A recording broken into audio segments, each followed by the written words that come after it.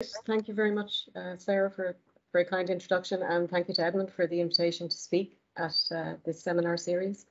Um, so, uh, as Sarah said, the, the, the title of my talk is The Amorphous State, Friend or Foe of the Formulation Scientist.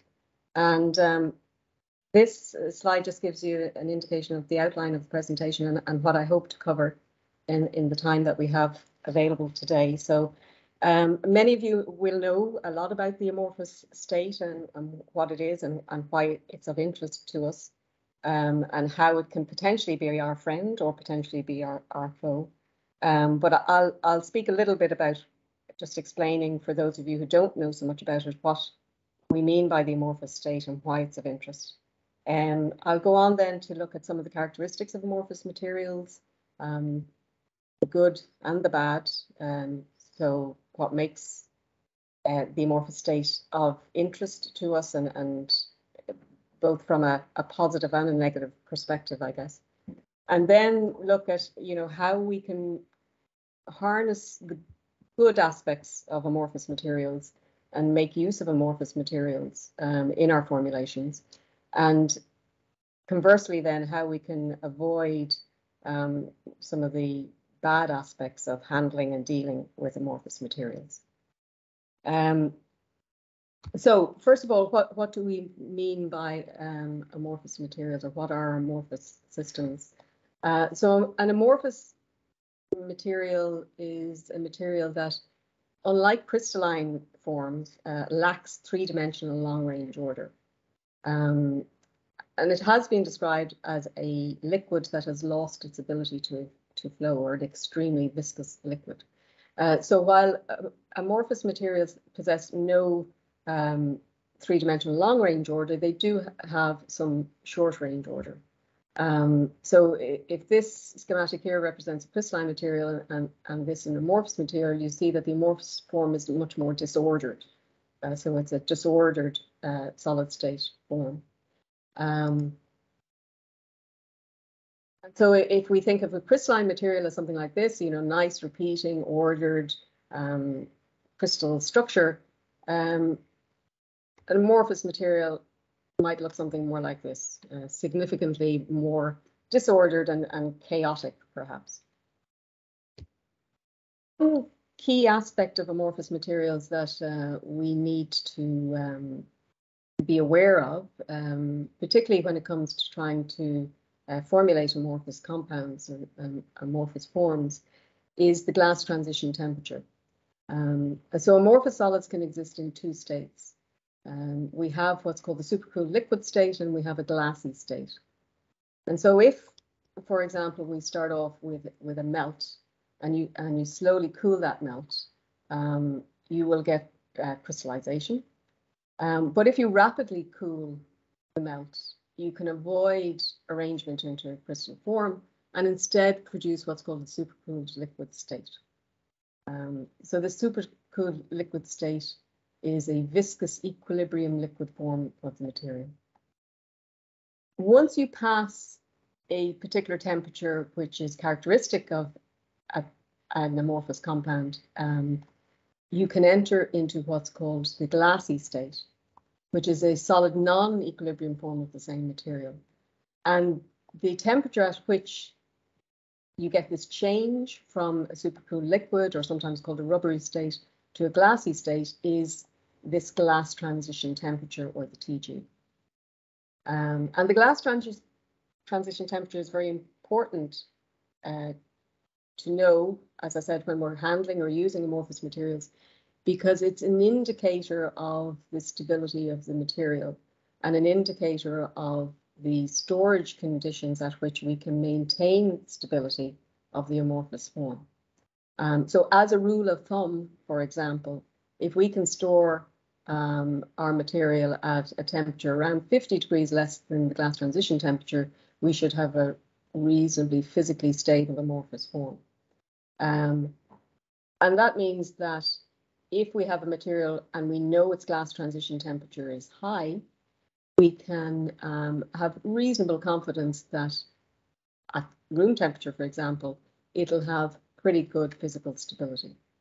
So in terms of handling and manipulating amorphous uh, materials, um, some of our interest in, in a formulation context is to try and elevate the glass transition temperature or to keep the glass transition temperature relative to the storage temperature high enough that we uh, maintain physical stability. And I'll come back to that um, a little later.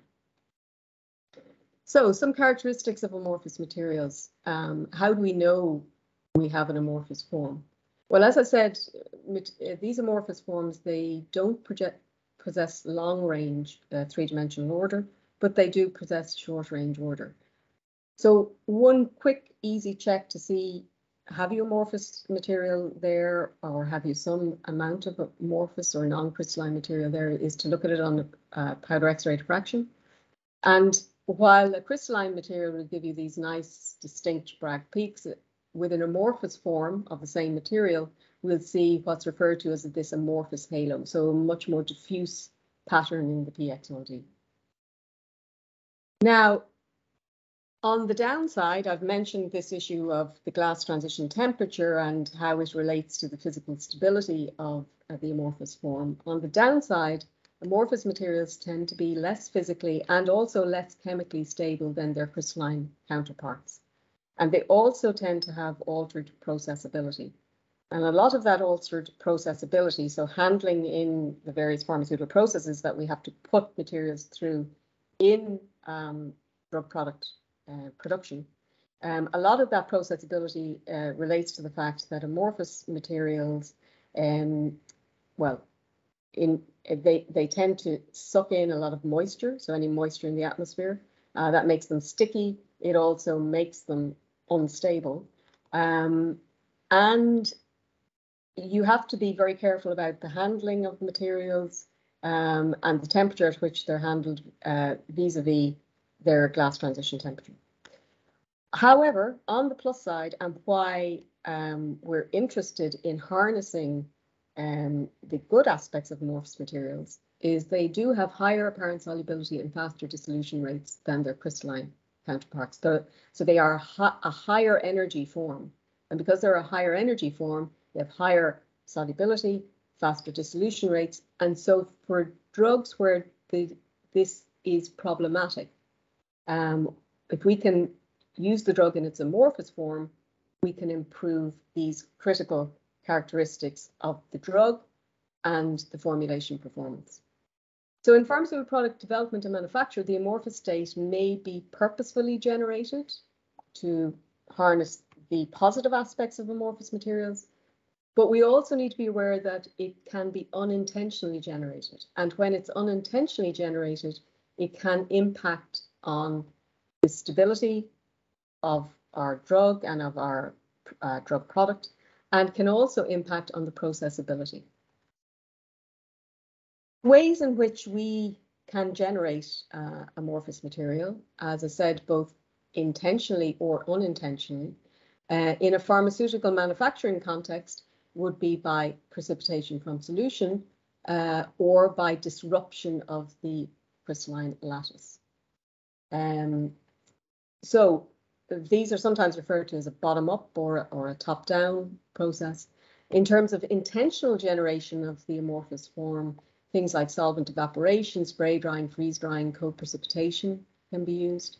Um, but unintentionally, we can sometimes get amorphous form being generated in, in other pharmaceutical processes uh, that we're subjecting our, what we hope will, will remain a crystalline material to. And that's things like wet granulation, drying, or film coating. Uh, we can also intentionally generate amorphous materials by grinding or milling processes. Um, but again, in a, in a pharmaceutical manufacturing context, often these processes, like grinding, um, unintentionally generate amorphous material or an amount of amorphous material in a largely crystalline uh, form. And other, uh, other uh, processes like desolvation and compaction likewise um, can unintentionally generate some level of disorder or amorphous material in a largely crystalline material. Okay, so having said that, you know, there's both positive and negative aspects to the amorphous state or to the amorphous form. How do we harness the positive aspects? How do we harness the good elements uh, so that we associate with amorphous materials?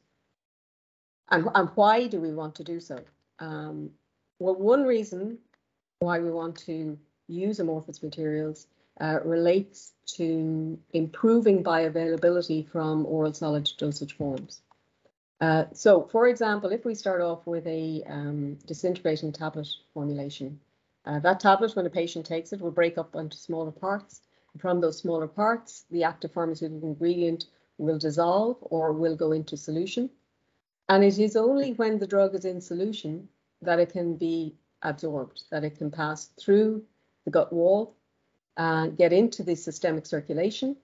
And in the systemic circulation, then it, the drug makes its way around the body, reaches the receptors where it will have its uh, pharmacological effect and ultimately you get therapeutic clinical benefit.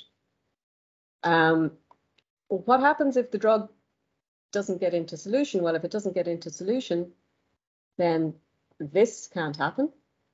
It can't pass through the wall of the GI tract. It won't get into the systemic circulation. You won't get an effect.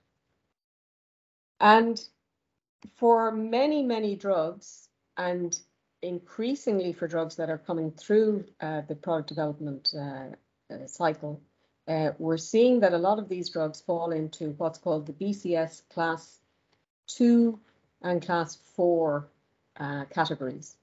And, and this is the biopharmaceutical classification system. And in both BCS class 2 and class 4, we have drugs that have an issue with their solubility. Right, so um, and if drugs have low solubility, um, then there's going to be an issue with them dissolving in the gastrointestinal tract, and we're going to have problems with um, bioavailability because insufficient drug will get into the systemic circulation. Um, so class two drugs are ones where we have low solubility but high permeability. So it's only really the solubility aspect we have to try and manipulate. Uh, we also have class four drugs, which are even more difficult to deal with because they have low solubility and low permeability. But how do we overcome this issue of low solubility to improve uh, or with a view to improving bioavailability? Um, well, there's a range of different approaches that can be used. Um, and these are chemical processes, physical process, or, or process involving complexation. And so amorphization is one of the strategies that we can use to improve solubility because we're generating this higher energy uh, form that has increased solubility relative to the uh, crystalline equivalent. Um, and so we can purposely generate the amorphous state of the same pharmaceutical compound improve its solubility, improve its dissolution rate, and ultimately, we would hope, improve the bioavailability for these challenging uh, BCS class 2 and potentially also BCS class 4 compounds. So the solubility of the amorphous form and the higher solubility of the amorphous form relative to crystalline form is an aspect that we as formulation scientists look to harness to improve the performance of our products when we're dealing with these poorly uh, soluble drugs. Um, if we look here, this is an example of a drug, uh, sulfadimidine, um, where the raw material, which is the crystalline form, um, has a pretty low uh, solubility. Um, that solubility is increased when we convert it to the spray dried amorphous form and is doubled in a in water where we have uh, PVP, polyvinyl pyrrolidone, in the water, dissolved in the water as well. And um, it'll become clear a little later on why uh, this is important. Um, compared to when we just look at the solubility in water on its own, we don't see much difference between the crystalline and the amorphous form. But this is the dynamic solubility profile where we see the significant difference between the crystalline and the amorphous form in terms of the solubility. Um, and this then translates to a significant difference in the dissolution profiles from the amorphous, which is the red profile, and the crystalline form. And in the case of some drugs, this difference in solubility um, is quite significant between the amorphous and, and crystalline form, leading to significantly different uh, dissolution profiles. Um, so, for example, this is an example of ritonavir um, in the crystalline uh, versus the amorphous form, and this is looking at what's called intrinsic dissolution rates, where we keep the surface area constant. Uh, so it's not a particle size effect or anything like that. It's a purely a solubility effect, and we're seeing a tenfold increase in the in the dissolution rate. So significant dissolution rate enhancement can be achieved by using the same drug, but in a different solid state form. And there are some commercial products where the amorphous form of the drug is used in what we might call a, a conventional type formulation, um, as opposed to some of the enabling formulations that I'll come to a little later on.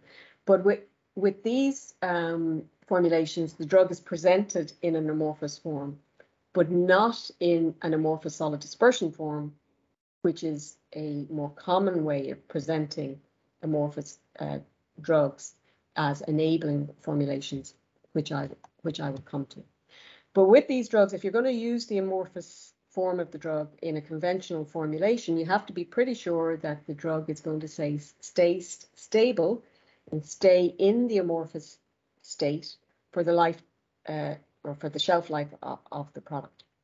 And to ensure that that happens, the amorphous form of the drug has to have a, a reasonably high glass transition temperature and have been proven to stay physically and chemically uh, stable. So there are relatively few drugs that fit that bill.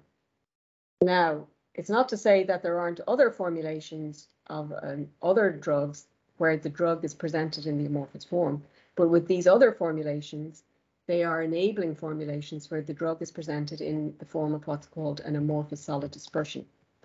And I'll explain now why we need to consider um, developing these drugs as amorphous solid dispersions.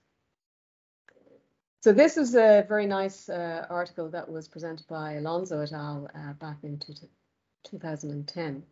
And they were looking at uh, felodipine as a model drug and looking at the dissolution profiles of amorphous felodipine versus crystalline felodipine.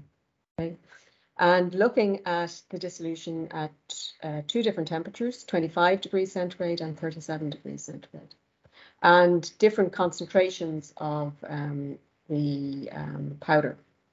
Um, but interestingly, what was found here is that while the at 25 degrees centigrade, you get this huge uplift, if you like, in the dissolution profile initially, and then it kind of falls away. At 37 degrees centigrade and with the same concentration of amorphous material as crystalline material, there's really no difference in the dissolution profiles. So the purple, where I've drawn uh, the purple line here, that's the amorphous uh, form at the same concentration as the crystalline one, uh, which it, it more or less overlays sorry, actually the crystalline one is the one that I've drawn the purple line in, but you see the amorphous one is just sitting just underneath it. So they're pretty much equivalent at 37 degrees. And why is that the case? Well, it's because if you look at the transformation kinetics, so this group used Raman spectroscopy to see what was happening to the solid material in the course of the dissolution profile. And they see that at 37 degrees centigrade, you're getting very rapid crystallization. So the drug, the amorphous form of the drug is crystallizing really before it's getting a chance to dissolve.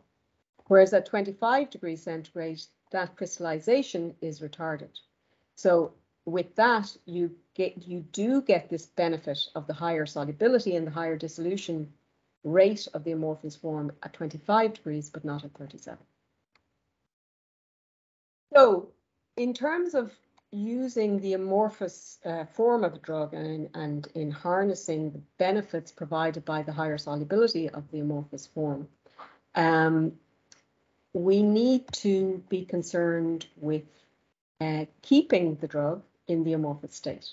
Okay, so if we have the drug in the solid state, what we want to do is prevent crystallization of that form of the drug.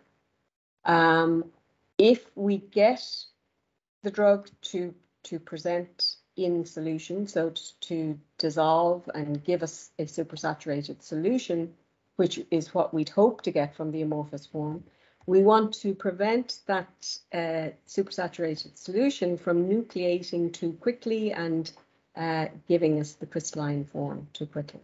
So we want to get good supersaturation, but we want to maintain that supersaturated solution, and we want to avoid crystallization from the solid uh, state of the, the formulation as well. And this is, is where we look to use components in our formulation, excipients in our formulation that will either stop this from happening or stop this from happening. And typically, uh, these are polymeric excipients. So in terms of stabilizing the amorphous form in the solid state, we can look at storage at low temperatures, as I said, maybe 50 degrees below the glass transition temperature, or we can use polymeric excipients. And these same polymeric excipients then, when we introduce the formulation into the liquid state, should also, we would hope, um, um, prolong the supersaturation of in the solution that we see and prevent crystallization from the matrix. So these polymeric excipients, how do they act to improve the stability of the amorphous form? Well, they can increase the glass transition temperature, and this is what's known as an anti-plasticizing effect. If we get hydrogen bonding interactions between the, the drug and the polymer, um, that um, further enhances the, the uh, reduction in the molecular mobility, uh, which improves the stability of the amorphous form. And we also kind of get this barrier to diffusion presented by the polymer being intimately mixed with the drug molecules. Um, and so we get this barrier to diffusion, which inhibits this nucleation and crystallization. And so this is where we come to look at the use of solid dispersions as um, appropriate formulations for amorphous uh, drugs. And the early literature referred to solid dispersions as just mixtures of polymer and crystalline drugs, actually. And, and even when the drug was in the crystalline state, if the particle size was small enough and if there was an intimate mix between the drug and the polymer, you do get you did get some enhancement of dissolution. But increasingly now, it's amorphous solid dispersions that we're concerned with, where we have an intimate mix of drug and polymer at the molecular level, and so we have what's often referred to as an amorphous dispersion or an amorphous solid solution, or sometimes a molecular dispersion because we have this uh, intimate mixture at the molecular level. The ideal scenario is one like this. So we have this solid solution of drug intimately mixed with polymer. Um, what we would look to avoid is that we get phase separation, where we get a separation of the crystalline phase from the the uh, polymer phase. Or what we also like to avoid is phase separation, even when we don't yet have full crystallization, but we get phase separation in two separate amorphous phases. So we have a polymer rich phase and a API rich phase because the, the introduction of phase separation, even when they're amorphous states, is more likely to move to a scenario where we have phase separation with the drug in the crystalline form, which is what we want to avoid. So with amorphous solid dispersion, we have uh, introduced a polymer into the system, which should stabilize the amorphous drug, resulting in better physical stability in the solid state. But also, as I said, when we introduce these formulations into the liquid, into the liquid of our gastrointestinal tract particularly, that we'll get higher apparent solubility, faster dissolution, and ultimately improved bioavailability from these um, hard to manage or hard to handle drugs of, with poor solubility. In a pharmaceutical manufacturing context, amorphous solid dispersions have largely been produced to date by one of two uh, methods, and that's spray drying or uh, hot melt extrusion.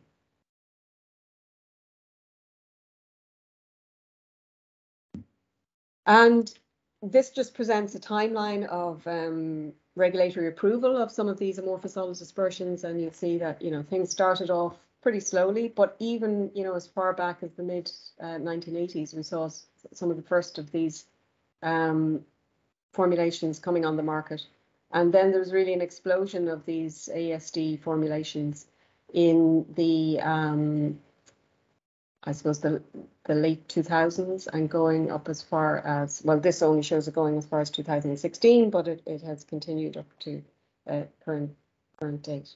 And I suppose this just demonstrates that you know pharmaceutical companies initially perhaps were very hesitant to to look at the amorphous form as a viable option for their products. Um, but as there's been an increased understanding of the amorphous state and amorphous formulations, there is a, growing, I would say, um, level of, of comfortableness, if that's the correct word, of handling, using, and uh, producing amorphous materials and amorphous solid dispersions uh, that have found their way into uh, commercial production. As I said, so this uh, this table here shows um, the range of different um, commercially available amorphous solid dispersions uh, the dosage form in which they're presented, and also the manufacturing method that's used. And, and as I said, in most cases, it's either spray drying or hot melt extrusion that, that have been used to date, although there are other options, for example, uh, precipitation or co-precipitation and uh, sugar spraying, sorry, spray drying or spray coating on sugar beads. So coming back to this scenario where we were looking at the amorphous felodipine and this issue of, okay, well, at the lower temperature, we do get some level of supersaturation into the liquid, but it's not really maintained. And at the higher temperature, we get such rapid crystallization um, from the solid uh, state that we really see no benefit from using the amorphous form at all. The same group looked to see, well, what happens when you put some uh, polymer into the liquid into which you're looking for your amorphous form to dissolve. And they found that, well, if you introduce some polymer, at least the right polymer, into the liquid, you can actually maintain um, the uh, level of supersaturation uh, for much longer, and you can get this supersaturation uh, to occur not only at 25 degrees centigrade as they saw previously, but also now at 37 degrees centigrade. And looking at the transformation kinetics, the transformation kinetics in terms of the conversion from the amorphous to the crystalline state is much delayed in the presence of these various polymeric excipients. So this effect of having the polymer there and then the polymer going into solution along with the amorphous form of the drug provides what's um, commonly referred to as the spring and parachute effect.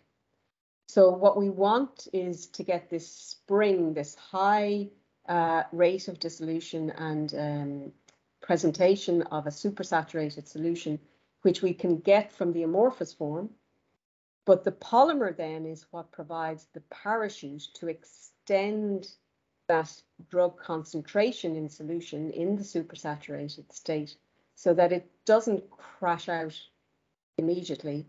And so we get this, this extended supersaturation, which provides for greater opportunity then for absorption in vivo in the gastrointestinal tract um, if we keep that supersaturated solution of the drug that was initially in the amorphous solid state form.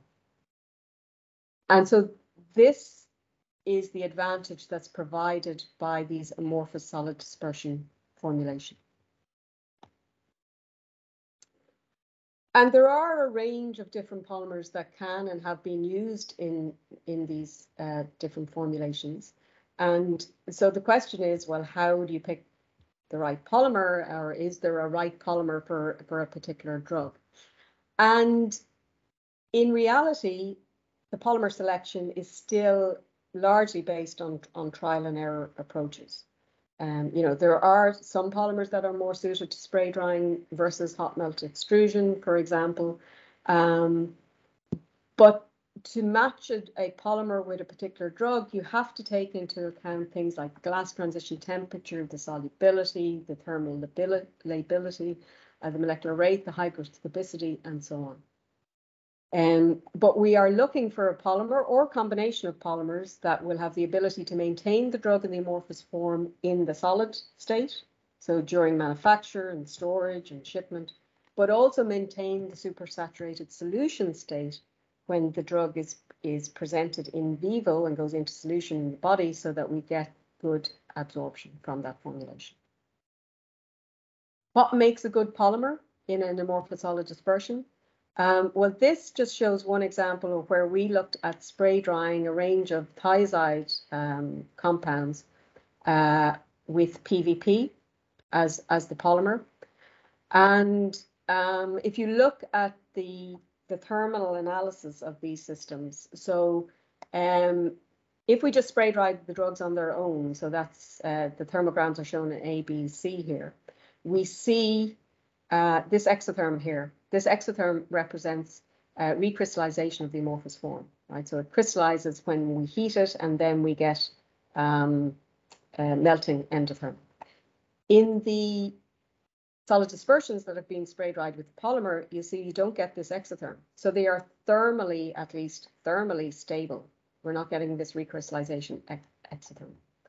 If we look at the glass transition temperatures, um, relative to the weight fraction of polymer that we use, we see actually, so the, the squares or the triangles, the, the symbols here are the experimental profiles and, and the, the, the lines or the curves are, are um, modeled uh, glass transition temperatures. But uh, the experimental profiles are, I guess, what are interesting. We see that we can get significantly higher glass transition temperatures than is predicted by simple models which don't incorporate any level of interaction between the drug and the polymer. Where we do get hydrogen bonding interaction, in particular between drug and polymer, we can significantly shift the glass transition temperature upwards, and that provides for significantly improved stability of our amorphous solid dispersion. We can, if we look at um, these types of phase diagrams where we're looking at uh, the glass transition temperature and we're looking at the solubility of the drug in the polymer, we can look at these phase diagrams to pick out regions where we should have maximum stability of drug in polymer in these amorphous solid dispersions. Because we, ideally we want to be below the supersaturation level of the drug in the polymer and below the glass transition temperature where we minimize the molecular mobility. So there, there are kind of ways in which we can more rationally design our amorphous solid dispersions rather than just uh, kind of using a trial and error approach. Uh, some more recent work that one of my PhD students did was looking at, um, you know, how, if we're looking at a particular polymer, how do we pick within a range of different options, and this is for um, PVPVA, uh, within a range of different options, how do we pick the best polymer to give us good stability, but also good uh, dissolution performance? And the polymer itself can, and subtle differences in the polymer that we choose can provide for very different performance characteristics of the ASD. So for example, here, the molecular weight of the polymer can give us different dynamic solubility profiles. The ratio of the uh, vinyl pyrrolidone to vinyl acetate in the polymer can give us significantly different um, dynamic solubility profiles. And so in this work, the, the, student was looking, you know, for a particular polymer, um, what will be the effect on the ASD performance of the molecular weight, the, in this case, vinyl acetate versus uh, vinyl pyrrolidone uh, content and how can we relate the characteristics of the polymer to the ASD performance. Um, So I guess this is with a view to moving away a little bit from just a, you know, a trial and error approach where we stick in a load of different polymers with uh, different drugs, mix them up, process them by different means and see what we get. Is can we be a little bit cleverer about the selection of our polymer constituent? The other thing we have to worry about then is the process. You know, what process are we going to use to generate the ASDs? And as well as the polymer, the process can have an effect on the ultimate uh, performance characteristics of our ASD. So here we need to think about the solubility of both the API and the polymer, the thermal stability of the API and the polymer, what loading of API are we looking for, what scale are we looking to work at, and do we want to work in a batch or continuous process. But even with the same drug polymer combination, we can see that two different processes can give us quite different results. Uh, so this is an example where we looked at spray drying versus milling uh, for the same drug polymer combination, but we see that with the top-down approach, spray drying, um, we can produce amorphous uh, ASD at a much lower polymer composition than we can hope to achieve with the um, sorry, the, the spray drying, of course, is the bottom up. The milling is the, the top down approach. So with milling, we need to use a lot more polymer to get the same outcome in terms of an amorphous solid dispersion that appears to be amorphous on the PXRD. Um, and this was demonstrated for, for two different drugs. If we do manage to get an amorphous solid dispersion, whichever form or whichever process we use to generate it, the performance characteristics of the ASD for these two different drugs with the same polymer um, ultimately end up being equivalent.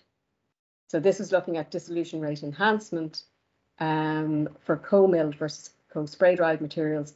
Initially, uh, dissolution rate enhancement and limiting dissolution rate enhancement. Another process that we're currently working on and looking to compare um, is co-precipitation and looking to compare how does co-precipitation um, match up to spray drying, uh, which I guess is a more, more commonly used approach. Um, and, not, and not to dwell on, on this, um, but again, we see that uh, for this particular drug polymer combination, because there's a significant opportunity for a hydrogen bonding interaction, we get high glass transition temperatures much higher than the model predicted. And regardless of the process, we get, in this case, um, amorphous solid dispersion that are equivalent by PXRD and by uh, largely equivalent by DSC.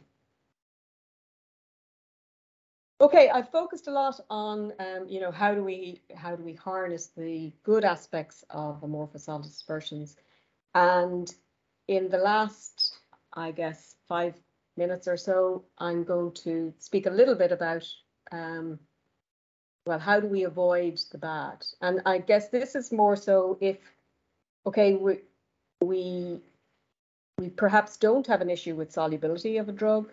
We want to maintain the drug in a largely crystalline form.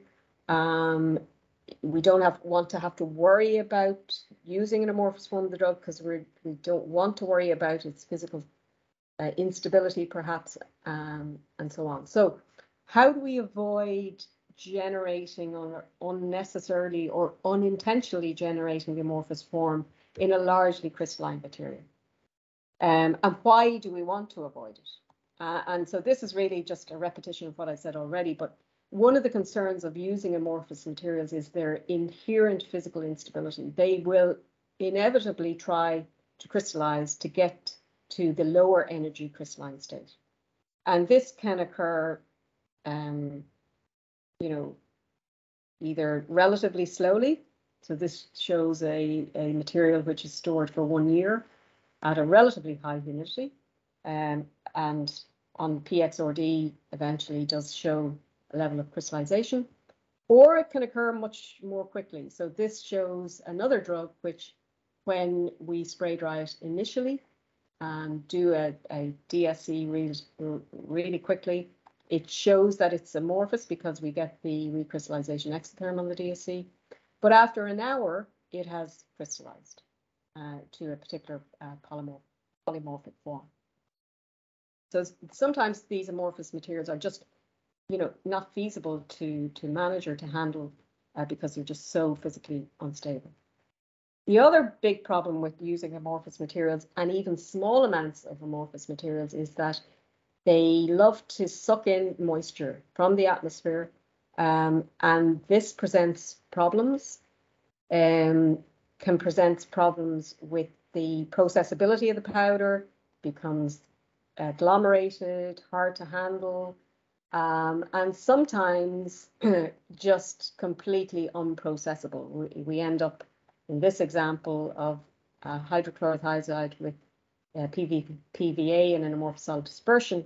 If you expose it to high humidity, you get this uh, sticky, gloopy mess um, from what once was a nice uh, free-flowing powder. Even if we have small amount of amorphous material sitting on the surface of particles, that frequently is generated by mechanical activation processes that we see in milling. Uh, these small amounts of amorphous material on the surface of the particles, they'll suck in moisture and that will lead to um, agglomeration as a result of solid or liquid bridge formation. So one strategy that we looked at a little bit to try and overcome this is to use uh, low glass transition temperature excipients um, to mix them intimately with um, the amorphous form that we perhaps have unintentionally generated to get the excipient to trigger crystallization of the composite system. So this is almost like a reverse of using the high glass transition polymeric components to stabilize the amorphous form. In this case, we want to intimately mix at the molecular level low glass transition temperature crystalline excipients with amorphous material that might be unintentionally generated to drive down the glass transition temperature of the composite material and trigger crystallization so that any amorphous material that's generated is only temporarily there and it's switched back to the amorphous form. So here, what we're looking at is mixing a, a crystalline API with an excipient. What happens when you mill that mixture? If and compare that to what happens when you mill uh, the crystalline API on its own. If you mill it hard enough for long enough, you can get it to become totally amorphous. But actually, if you pick the right excipient, right excipient with low enough glass transition temperature, you can, um, okay, there may be temporary amorphization there, but you can trigger crystallization. And so here, this is just an example of sulfadimidine mixed with a range of different uh, crystalline excipients at 50-50 ratio. And we see that for one in particular, uh, glutaric acid, which is a low glass transition temperature, it uh, can, uh, can prevent the amorphization of the mixture. Interestingly, the uh, Hildebrand solubility parameters of glutaric acid and our drug are very close. So the difference uh, between them is very, very small, and the excipient has a low glass transition temperature. And we can actually use uh, thermal methods to measure the solubility of the excipient, or sorry, the solubility of the excipient, the crystalline excipient in the amorphous API. Um, and we can estimate the solubility use looking at the heat of fusion uh, versus the excipient mass fraction. We can estimate the solubility for different excipients. And we see, so this shows an example of um, adipic acid versus glutaric acid. And we see that uh, the crystallinity um, increases and kind of plateaus out beyond the point where the excipient has maximum solubility in the uh, amorphous API. We also see that if we measure the glass transition temperature of the equivalent composite systems, that the glass transition temperature is decreasing and levels out beyond this maximum solubility point. Uh, we've demonstrated this um, for another drug. This is uh, salbutamol sulfate, where we estimate the amorphous uh, content by DVS, dynamic vapor absorption analysis. And again, interesting for a range of carboxylic acids, it's a glutaric acid that performed best in terms of minimizing amorphization. And again, the minimization of amorphization uh, kind of comes at the point at or just beyond the maximum solubility of glutaric acid in the amorphous uh, drug. So we know that the kind of the key points, and I know we're stuck for time, Sarah, so I, am going to wrap up. I think I've just a few more slides. Um, what we moved on to do is look at it just a, a screening method where we looked at can we, by DSC, measure the TG? So we want a single TG that's pretty low. And can we relate that to selection of excipient? And we demonstrated for griseofulvin and budesonide that this screening approach can work using an excipient with a low TG that has good solubility in the amorphous API. So in conclusion then, in terms of amorphous materials, yes, they're of huge benefit to the formulation scientist in terms of their improved solubility and dissolution characteristics. There are challenges with respect to the physical instability of the amorphous form. Um, to allow us to harness the advantages, we need to, to be aware of the need to improve the physical instability. Um, amorphous solid dispersions provide an opportunity for us to harness these benefits of the amorphous state. Um, and where the amorphous form is an undesired contaminant of a largely crystalline system, there are potential strategies that we can use to overcome this undesirable amorphization. And so with that, I'd just like to thank all the contributors to the work, uh, colleagues, postdocs, um, PhD students, um, the funding agencies, and thank you for your attention. Thank you, Anne-Marie. Thanks, Sarah. It was a, a fantastic talk. Um, so if anyone has any questions, uh, please just put up your hand and, and um, I, I, can you can turn on your microphone or, or type it up in the chat. Uh, I might kick off with, with one question, Anne-Marie. Mm -hmm. uh, so the, to, to define your particular amorphous state, um, DSC, really your TG kind of defines what that you have uh, a particular amorphous state. So in general, do you find with the same, if you were to use say the same in your solid dispersions or even in a in a, a pure drug amorphous state, can you get, depending on how you process it, do you get can you get a range of different amorphous states with different TGs?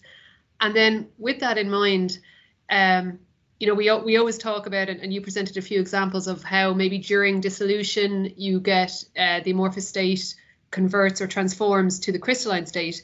Do you ever see it transforming to a different amorphous state?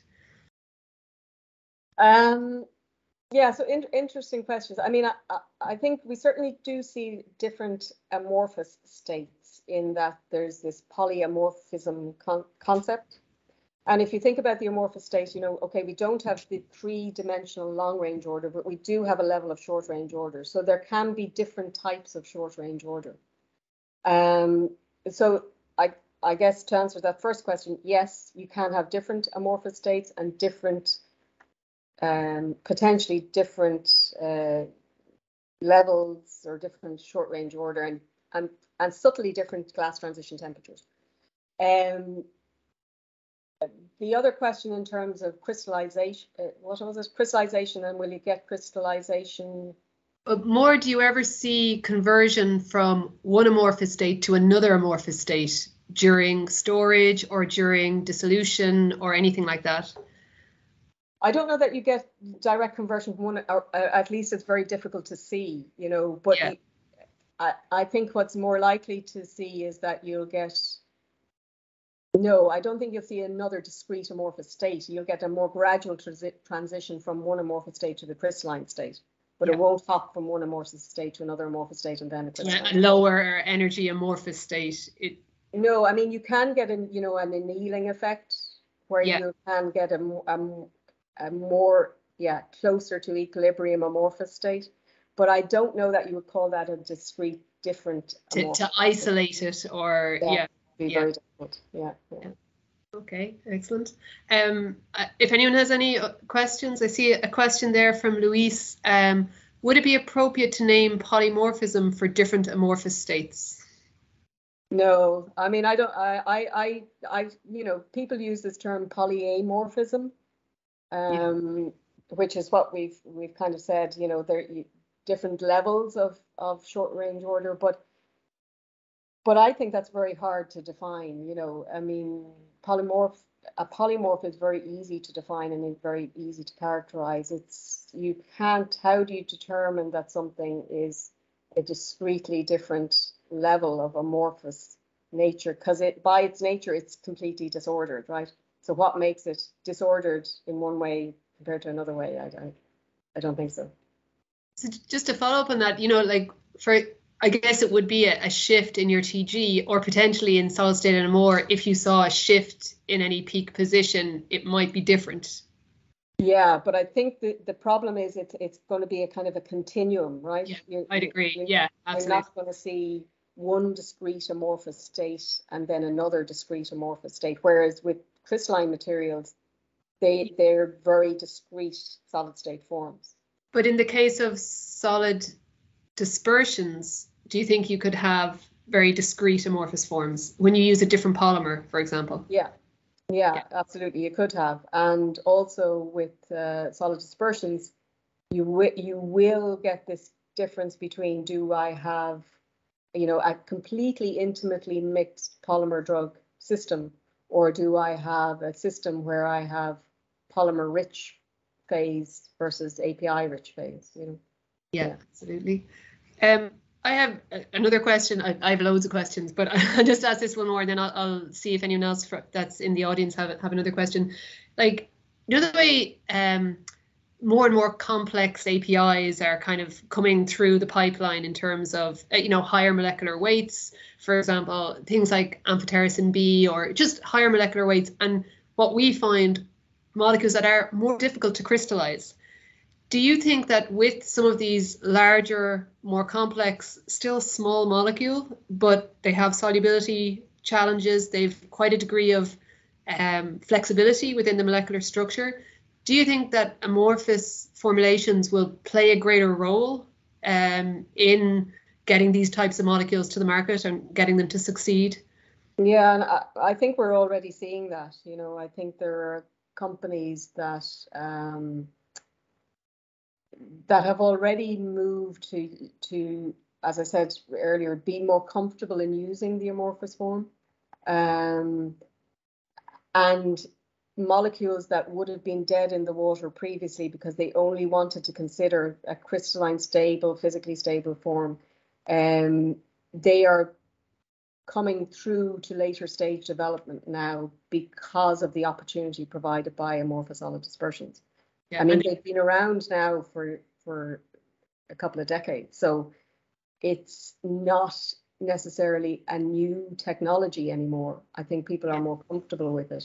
There's still lots to be learned about them, and you know, which is great because we wouldn't have PhD students, postdocs working on them otherwise. But um, but I think from a commercial product point of view, there's um, opportunities there that the companies are seeing and the and that's enabling them to bring through more of these large molecule, hard to handle drugs. Yeah. Yep, excellent. Um, okay, so is there any other questions from anyone in the audience? Oh, I think, does someone have their hand up there? Yeah, so Harsh, if you want to unmute yourself, did, did you have your hand up? Yeah. Yeah, so it was a really interesting talk. Thank you. So thank you for that. So my question was regarding uh, the polymer selection. So sometimes like if a particular polymer uh, is stabilizing amorphous form in a solid state, but it may fail during the solution state stabilization. So is there a way to anticipate uh, such failures? Or like can we screen polymers uh, can cause both the kinds of stabilization, as in the solid state and the solution state. Yeah, I mean, there are, um, I have it on another slide, but I didn't show it. There are kind of, you know, um, selection mat- matrices, if you like, or work or workflows that allow you to choose particular polymers might be better for spray drying versus hot melt extrusion and so on. Particular polymers might have greater benefit in terms of the physical stability in solid, solid state versus enhancing solubility in the liquid state.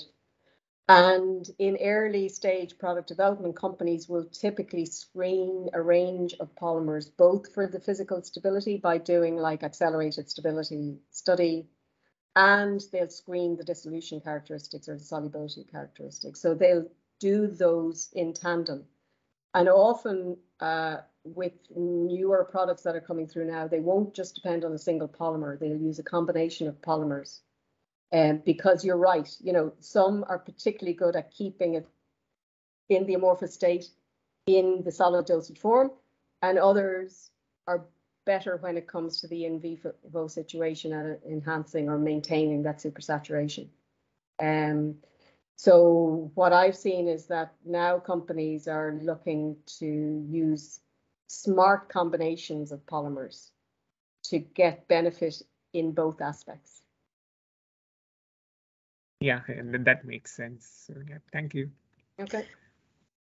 Thank you. Uh, so if there's no more questions, uh, I see we lost a couple of people just in the last few minutes, Anne-Marie, who had lectures at one o'clock, yeah. but um, a lot of thanks for the great talk um, from lots of people. So just to, to thank you again for today, really interesting talk. And um, I think uh, everyone learned a lot. And when we struggle to crystallize, we might be picking your brains again about some amorphous formulation. Don't crystallizing, just what happens to my whole theme then in the SSPC? well, thank you very much for today. All right. Thanks, everybody. Bye-bye. Bye. Bye.